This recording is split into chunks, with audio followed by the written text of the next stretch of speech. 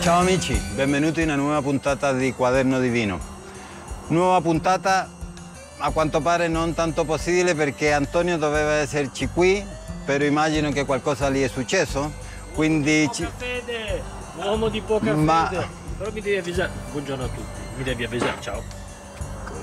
il lavoro è prima o no? Il lavoro Sono sicuro che facevi qualcosa extra lavorativa. No, è che io ti aspettavo in cantina d'avvinamento e te mi sorprendi con questa- questa- questo, questo scenario. Oggi doveva cominciare il velo, per quello ti ho pensato che era una buona opportunità. Invece, E invece ci sono i telefoni, mi devi telefonare. ok. Buongiorno, lavoriamo, diamoci da fare, diamoci da fare, diamoci da fare. la parola è tutta tua. Sei gentile. Cosa, cosa di bello assaggeremo Allora, oggi? eh, bel tempo, bel tempo, fresco, dobbiamo bere un vino fresco, eh, siamo in Toscana, Italia, Toscana, per la precisione mh, al sud della Toscana, in Maremma, Scansano, provincia di Grosseto, la terra del Morellino. Ma noi oggi non assaggeremo un Morellino, la prossima volta magari. Eh, il vino che andiamo a mh, degustare oggi è un Vermentino DOC. Ehm, siamo, eh, come dicevo prima, a Scansano. L'azienda è provveditore di Bargagli, della famiglia Bargagli.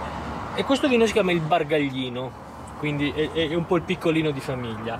Ehm, questa è un'azienda che ho conosciuto più o meno tre anni fa, è stata una delle prime aziende a entrare in catalogo di abbinamento, persone simpaticissime, eh, a parte il vino hanno anche una produzione di salumi molto buoni eh, e prodotti da forno, prodotti da forno, quindi classici cantuccini, gli anicini e via, insomma, a tutto tondo. Se andiamo a farci una gita diciamo che possiamo uscire soddisfatti. Il eh, capostipite Alessandro Bargagli, adesso comunque in azienda c'è, c'è anche Cristina, sua figlia, simpaticissima, e, e appunto questo è il eh, vino bianco dell'azienda. Hanno altri vini che sono tre morellini e poi abbiamo anche un passito, un appassito di tufo.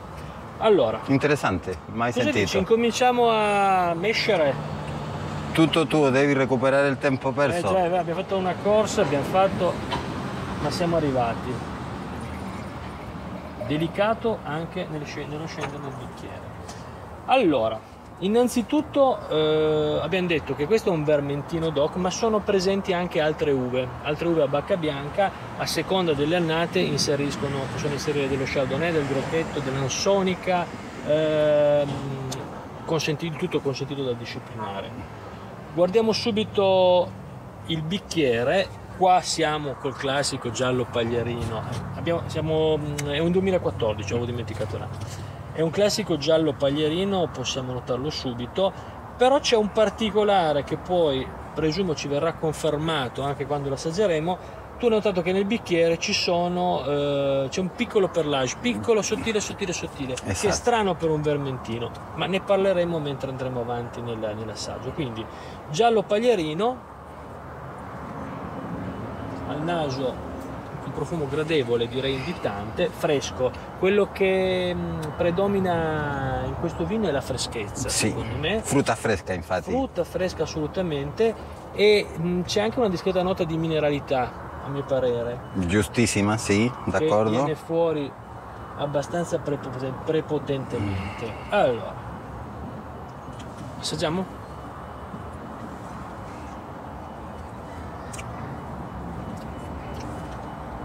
E abbiamo la conferma di quello che, avevamo- che ci avevano detto gli occhi. Questo vino è, come direbbero i francesi, leggermente pétillant, quindi ha questa effervescenza naturale eh, che comunque la- la- la- gli dà questa nota ancora più fresca. Eh, avrai notato sicuramente che al palato emerge subito questa, la mineralità, Sì. che va addirittura a coprire il, il- il- il tono dell'acidità. Sì. Quindi c'è subito la mineralità. eh, Una ottima sapidità anche. Sicuramente, siamo comunque eh, delle vicinanze del mare, siamo Sì. in una zona molto vicina al mare, quindi il territorio dà sicuramente la sua, la sua impronta. Gradevolissimo, secco, Secco, deciso. secco, deciso, finisce, finisce proprio bruscamente, ma la sapidità è di una lunghezza quasi incredibile. Vino da bere fresco, vino da bere fresco, vino da bere fresco anche nel senso non è un vino da lunga conservazione. Questo è un 2014, lo andremo a consumare nel corso del 2016, già nel 2015 chiaramente era più che, più che, più che buono, direi che non, non, è consigliabile portarlo oltre fino al 2017, anche se comunque sicuramente non va male.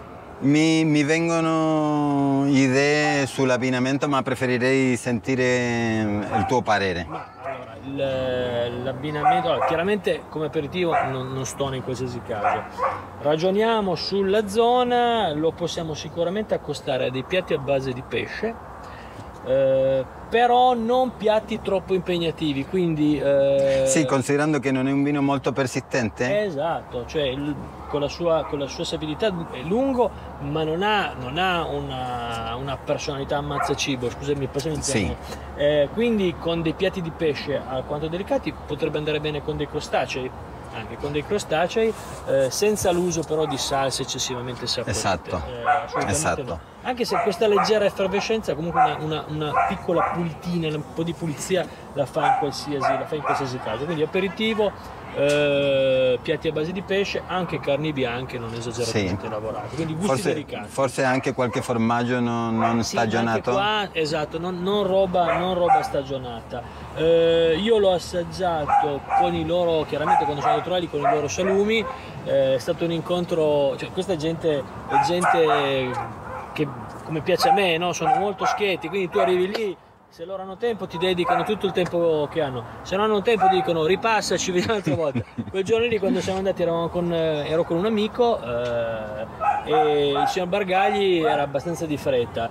Eh, poi quando ha capito che potevamo essere potenzialmente dei buoni clienti, io non ho detto subito quello che facevo, ci ha fatto sedere, ci ha cominciato a tagliare salami affettati e tutto e di là è nato questo rapporto che veramente adesso io quando ho bisogno di qualche, qualche fornitura da loro è, è praticamente... È fantastico, e questo è il mondo del vino e dei produttori. Sì, sì, sì, eh, ottimi prodotti, eh, generosità nel condividere le esatto. conoscenze esatto. e in invitarti a degustare anche sui prodotti a livello di cibo, quindi fantastico. E come, cosa possiamo dire sul prezzo di questo vino? A livello di prezzo questo è un vino che resta sta in catalogo di abbinamento intorno ai 9 euro. Intorno ai 9 euro. Siamo su quella fascia di prezzo lì. Ottimo. Eh, boh, quindi... Per chi non conosca il vitigno e neanche il vino in particolare, troverà una bellissima sorpresa in questo, soprattutto sorpresa. quelli che gradiscono i vini sapidi, di sì, esatto. esaltare quella caratteristica. Anche perché il Vermentino è uno dei vitigni più presenti sulla fascia tirrenica, no? quindi noi partiamo dalle Ligure, scendiamo per la, la costa tirrenica,